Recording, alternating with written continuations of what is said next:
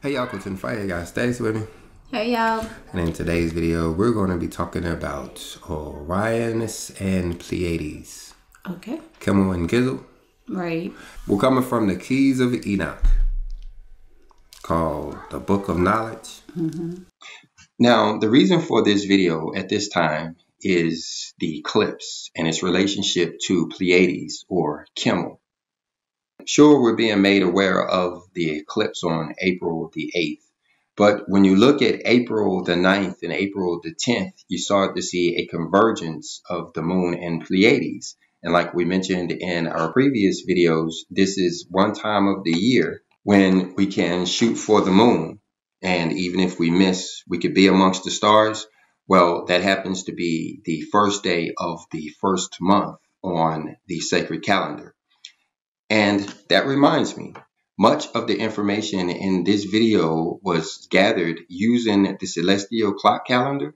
Well, I would suggest you go over to coachinthefight.shop and get yours today. That's coachinthefight.shop.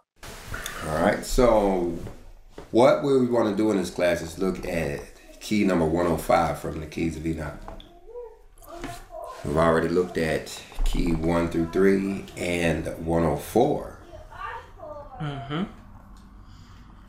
So now for 105, the key to our astrophysical time zones is the 3 and 1 alignment of consciousness forces in the Great Pyramid with the 12 and 1 energies of time warp pyramids centered and controlled by the many and one throne energies of Orionis and Pleiades. Kimmel and Kizzle. Now, notice it says throne energies. Right. So these will be associated with the thrones that we hear about in the Bible. And then notice up there that is talking about the alignment of the consciousness. Mm-hmm. That would be third testament kind of stuff where we're talking about the hour of the consciousness and what we're learning here is that this is all related to star alignments and timing in our history. In other words, our Father does things in an orderly fashion, mm-hmm. He also does things in a timely fashion. Right. All right, so let's step through these verses here, if you don't mind. I'm, We can take turns reading, if you will. This is key 105 from the Keys of Enoch. This key is speaking directly of consciousness programming.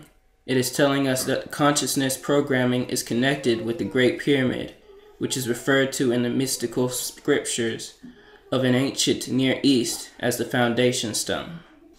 The consciousness programming, in other words, how humanity would wake up all at one time. Mm-hmm. It's associated with the Great Pyramid. That's kind of like the time clock we're going to learn here. The consciousness forces of the Great Pyramid are cued with specific star points which are working with planetarium time warp areas. So again, it's talking about a, the grid pattern. Mm-hmm. And what we can see if we were to map out the book of Enoch, the first book written, when you map out what he says, you can almost see the star alignment. Mm-hmm. Especially from what Chris and I have done so far and what Stacy have added we would only really have to start understanding the Mazzaroth. Right. Specific star points, which are working with planetary star warp areas. Well, this particular chart doesn't have the planets on it at all. Right, they aren't even taken into account. Are they mentioned in that part of Enoch? I don't, I don't no, see the, them. No, the planets are not. And that's why they're not included.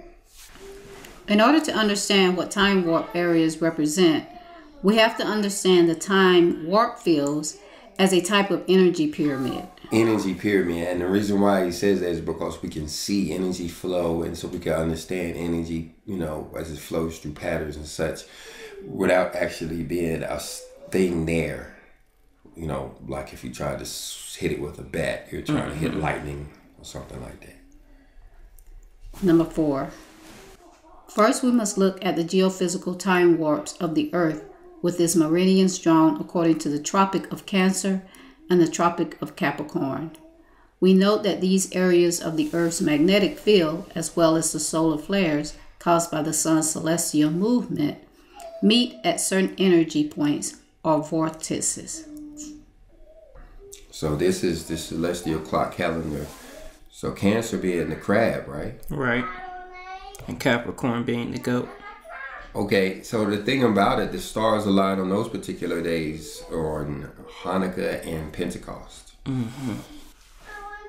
First, we must look at the geophysical time warps of the Earth with its meridians drawn according to the Tropic of Cancer. And the okay, so we already have that. Praise our Father in heaven. Enoch told us that um, in um, his book of the Revolutions of the Luminaries of Heaven. Right. So we know that these areas of the Earth's magnetic field, as well as the solar flares caused by the sun's celestial movements, meet at certain energy point or vortices. So, okay, so they're aligned at those particular times. Um, look back at it, Chris. Now zoom out, so we can see the times that it's actually talking about. It's those aligned with, uh, like we said, Hanukkah and uh, Pentecost, but the top being what we will call December. Mm-hmm. Um, and then June being down at the bottom. So the year's kind of split in half that way. Mm. So what he's saying to me, all right, let's look at the next verse. What is not shown on mapping of the vortex Jah of time warp zones is their connection with the stars and the ancient astrophysical stations of light upon the earth. So we can't see the connections I understand that. Let's go on to verse. and if we consider that the star fields as given some mapping of where the Earth's biosphere, as watery prism stands, in relationship to given star fields, we will understand why the ancient Egyptian text referred to Ishkim as why the Great Pyramid was aligned with Mintaka, Delta, Alnilam, epsilon, and Alnitak, zeta, and Orion, Orionis. These are the central threshold controls, or the region of positive programming, used by the Elohim Lords of Light to connect the many galaxies to our Father Universe within our galactic quadrant. These threshold controls are necessary in coordinating celestial navigation between universes. Through the energies of your Orion, the central threshold control, the higher beings of light move across the waters of the deep. Okay, what it's saying is if we could understand this all as a prism of water, kind of like, you know, there's all, you had all of these planets and stars all fork floating in water. So it's saying that if we can understand how the star fields are ordered, then we can understand this analogy that it's making? Well, you have to use the analogy to understand the star fields. And if you can understand how this is, you know, all working together, it says you'll start to understand that these are the central threshold controls of the reason of positive programming used by the Elohim Lords of Light to connect the many galaxies to our Father universe. So you want to think of it, lastly, he said, of a watery prism. But then instead of H2O, this what's flowing is electrons. Mm-hmm. And so that's how you understand because it, unlike uh, water, electrons will have a pattern to them. Right. Well, this pattern is what he's saying, this this way of connecting through this crystalline, we'll find in a, in a later chapter, this crystalline kind of structure is what he's using to communicate with us. In other, in other words, he's bouncing his will, for lack of a better word, off of the stars in hmm. order to get to us. In other words, he's using the stars like like trying to shine a shine a spot with a laser using mirrors or relays, yeah. Mm-hmm. Mirrors is better, yeah, mirrors, because it's it, it, it when you start to look at it real close, it starts to look like reflections you know, especially when you start to look at the Sabbath day related how close it follows. It doesn't follow the moon, but how close it follows to the moon. It's like, you know, those times are when the sun, moon, and the star relationships are in such a way that we would get a direct hit. Like it would bounce off and hit us at 90 degrees. Right. Or a direct hit during the full moon and the new moon. So does that mean that during certain times you are able to receive more so from the Father than at other times. Absolutely. Right. Absolutely. The gates are open during those certain times, like we said on the Sabbath day. Mm-hmm. But then on a yearly deal, it's more aligned with the stars. The stars are what's lining it up. The stars are what's lining up. And then you would have these yearly gates that would open. And of course, those are during feast days. Um, Passover, Tabernacles, Pentecost, Hanukkah. and the others. It it makes me think about how no one group or no one person can say, well, um, the Father only s- speaks to me when He's speaking to us all, because these um, energies are constantly bouncing back and forth. So all of us have the opportunity. That's what I was going to say. All of us have the opportunity to receive from Him um, but we also have to be aligned correctly, right? You have to be doing what we're supposed to be doing. And so that's where the feast days come into play. And that's why throughout history it's been up to the men, primarily because everybody else was not required to go to the feast days. Hmm. the women Yes. didn't have to go, the children didn't have to go. But it would have been, like you say, everybody has the same opportunity. So those women, those children, those old men who decided to go would have gotten enlightenment and got the same benefits as everybody else. But those who decided to stay home would have missed out. Yeah, because they were able to get more of this, you know, I don't know what you would call it.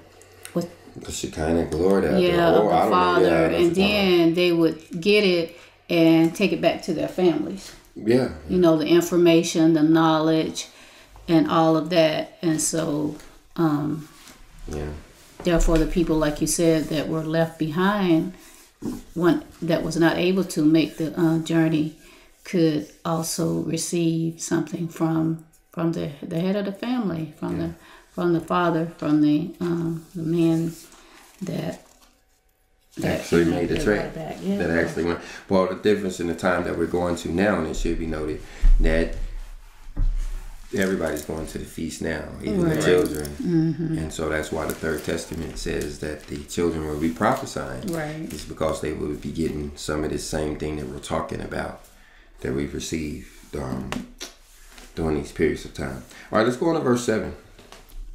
We must also understand the Pleiades cluster as one of the key centers for the propagation of light. The Pleiades is the constellation Taurus. is not to be thought of as a separate threshold control for the measurement of planetary systems, but according to Enoch, the Pleiades is a measurement for all key time clocks, all astrophysical temples of measurement these time clocks on the earth are located on magnetic grids and focus into the Great Pyramid. Now, see, Chris, this is why I wanted to bring you in on here because it's talking about how Kimmel is the measurement for all key time clocks, all astrophysical temples of measurement. So, in the next chapter 106, which if we make it through all of this in this video, we'll cover it in another video. It also covers Kimmel and Kizu uh, Pleiades, and Orion. But let's go on to verse 8, see if we can learn more about these time clocks and how this is the, the measurement for all key time clocks. We see that the Earth is controlled by great geomagnetic energy spokes, and that each energy spoke has within it 12 energy spokes, all interconnected at certain parts of the Earth's star field. Okay, now scroll over. He's, uh, he's showing us a picture here, and this may be what he's what he's saying. It's one beneath it too. We see that the Earth is connected by great geomagnetic energy spokes, and that each energy spoke has within it 12 energy spokes, all interconnected at certain parts of the Earth's star field. Invisible lines of the force establish a systematic pattern for the formation of the particles of matter and antimatter in the programming and control of individual intelligence. You see anything like that in there? I see the lines. I don't see where the antimatter is coming from. The antimatter we learn in another part of the book is what is used to create third world creations. You have a world that goes through its maturity, and once it implodes on itself and is destroyed, all the beings on a planet that's ready to go to the higher level will do so. But those that are not will become antimatter Hmm. dark matter in space. Mm-hmm. This dark matter becomes what we know as a dark, as a black hole. And this right. black hole, of course, absorbs everything around it until it gets enough matter within itself to create another universe. And another universe is created in that singularity. And then it takes our creator to come in and explode that singularity in what we know as the Big Bang. And then another universe similar to ours, identical, is born. Is born. So no, you don't see any dark matter in here. So let's go on. Let's look at the next verse. All that comes out of this book, by the way. This is um, the book of knowledge, the keys of Enoch. We're in key number one hundred five. The main lattice formed by these lines of force consists of 30 minutes of arc divisible into 16 grid areas, measuring 7.5 minutes of arc by 6 minutes of arc, or 45 square nautical mile units. Now, this is why a lot of people don't read this book, is because it's on a scientific level, too. If you want to dig deep into this, you can probably write a thesis on this verse. We're not. Let's go on to verse 11. Each one of the 12 main lattice areas is controlled by a high frequency geophysical pyramid what appears as the physical structure of these time warp areas exists in reality as a twin force of matter and antimatter, which creates mirror-like image, which can be used to alter physical reality to a much higher reality of universal intelligence. Okay, so what this is talking is on a fifth dimensional level, and how you have these energies. He's trying to make them, un, trying to make us understand them as energies, but they're fifth dimensional energies, so we don't can't really wrap our minds around that. But what he's saying is there's there's a negative energy and a positive energy that's kind of working together mm-hmm. to what is what is say alter our physical reality. And this is what I've been saying, uh, you know, for a long time is that we're being controlled by these Elohim. The thing about this book is it's telling us how they're actually doing it. They're using these grid patterns and these energies in order to send these these vibrations, for lack of a better word, that's controlling us, making us doing stuff. And it would actually be the principalities and the powers, right? Yeah. So what is is saying is that they're not necessarily um, what I would have thought of like the um, devil sitting on your shoulder mm-hmm. and you know causing you to do things. But what this verse is saying is that that they're actually um, vibrations that's going back and forth. Energies. Yeah, energies, and they're biorhythms. Is what is causing us to uh, behave um, or do certain things. Certain yeah, things and then well, and then on a bigger picture, then it's we think have the pole shift and how humanity will change when we have this shift in our geo electromagnetic field. Well, I guess we're learning here how and why. Right. He even talking when he, he's not giving specifics, but uh, uh, earlier he said that it's when we have the alignment of Pleiades Mm-hmm. This greater reality uses A line and B line solar radiation fields to create the vertical and horizontal energy cube around the Earth's rotational field. And if you guys understand, you know, some of this that we're not understanding or not talking about, please join us in the comment section as we continue this study. The Brotherhood of Light uses these 12 grids or vortex ja to enable them to come into the Earth's biosphere and build a great civilization to help the consciousness of man understand his divine origin. In other words, this is how they're coming down. And so when you look at these clothes, these are going to be in certain places of the world that's really important, like uh, Mount Horeb, Mount Sinai. The Temple Mount could be listed on there. Um, Altea America could be one of these points and these grid points. Like these time warp areas are where it's easiest for them to come up and down. Yeah, exactly. And the world knows this. I wish I could um, think of the, the mountain that the fallen angels came down onto because they actually have a military base on that mountain mm-hmm. by itself, sitting by its lonely, as if they're waiting for them to come down again and they want to be the first ones to report out that, you know, it's happening again. Y'all they're, they're back.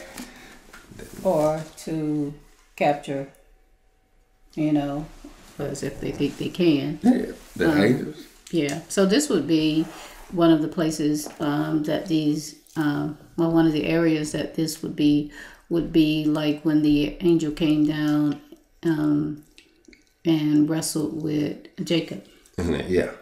Mm-hmm. Right. And that, we that, know that to be uh, the same place Mount that yeah Mount Mount Moriah. Right. Mount Moriah. I don't yeah, know. Yeah, same place as the Temple Mountains. Yeah, yeah temple. same place as the Temple. That's where the um, the dome of the rock is. Right. And from what I understand, that rock that the dome sits on is the same rock that Jacob laid his head on to sleep when he had his dream. All right, so let's jump down to verse 46 as it continues talking about Pleiades. The 12 artificial time warp islands of light will be formed out of the oceans and seas as great interlocking circles connected with the polar areas. Now, it's talking about that map that we just saw, but it's also talking about this one that we would recognize as the dove. All right. Verse 47 says, The harmonics of light will reveal the ancient lands of the Nephites in the Americas. These will show the overlap where the Brotherhood will land in America to gather the righteous seed. And it goes on to talk you know, a lot about this map here. But we want to talk about uh, Pleiades, like we see there in verse 50. So let's let's go on and look at uh, verse 48. They will come within the formation of a magnificent dove, whose head of crystal knowledge will be over the Yucatan Peninsula, whose wings shall sweep across the danger zones of the eastern and western flank of North America, whose feet will land within the pyramidal area of the Bermuda Triangle and the ocean area near Mazatlan, and whose body will gather the pearls of the communities of the righteous into the heartland of the Ancient of Days. So with the dove landing within mostly within the Americas, what what accounts for the other nations and other lands? Well, many of them, especially the most populated ones in the world, will be destroyed. Um, like the old world that you know, Jerusalem, a lot of that place would be destroyed at least for seven years, and and around there would also suffer a, a lot of um, um, hardships over in that part of the world. Well, the scripture talks uh, uh, about people who escaped to that part of the world.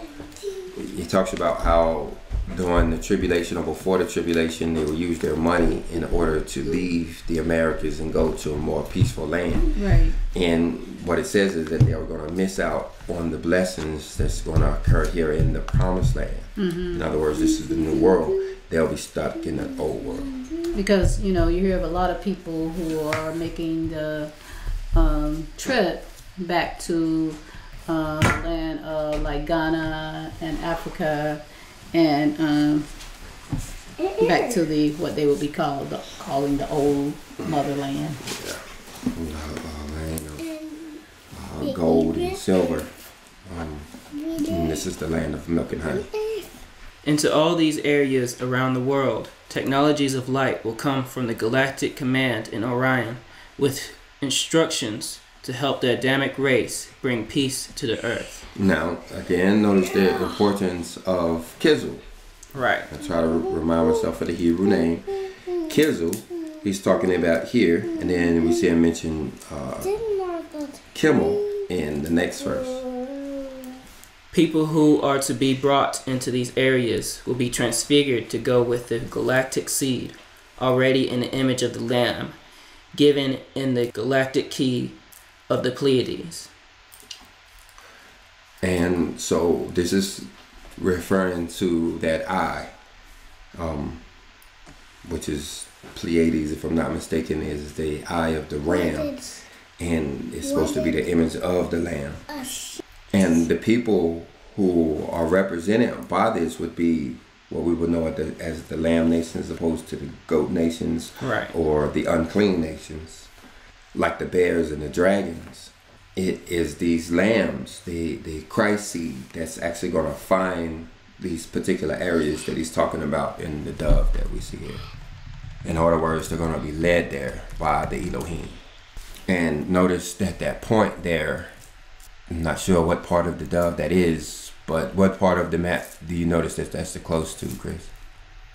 That's in the Gulf of Mexico, just off the coast of Mexico. So that would be where we hear about the Altea America. Right. But anyway, that's all we wanted to cover, or that's all chapter 105 or key 105 talked about as far as Kimmel and Kiesa was concerned. The next chapter that we'll talk about is 106, but we'll do that in the next video. Okay.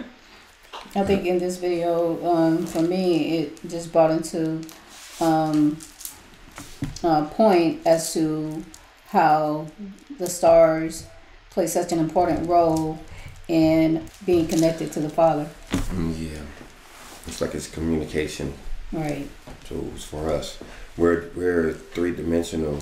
He's at least 10th dimensional, some say 12th dimensional. And, you know, so that's, you know, the steps that he has to take in order for us to even hear his voice. You can imagine. Yes. Earth got rocks. What? He said Earth has rocks. Earth has rocks. Yeah, All right, you want to say goodbye to YouTube? yeah. All right, if you got anything out of this video, hit the like button. If you didn't, hit the dislike button, but leave us a comment either way. And shalom. Shalom. Yeah.